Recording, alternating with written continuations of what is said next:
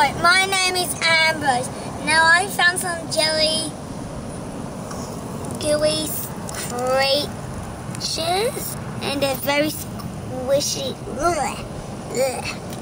Yep, very, very, very squishy indeed. Now, um, I'm I'm super sure they're animals.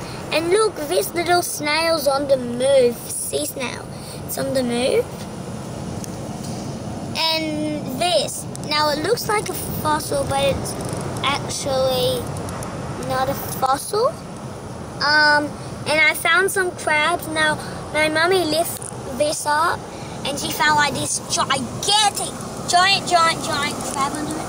Well, unfortunately, I wasn't in time to see it. And it went under here.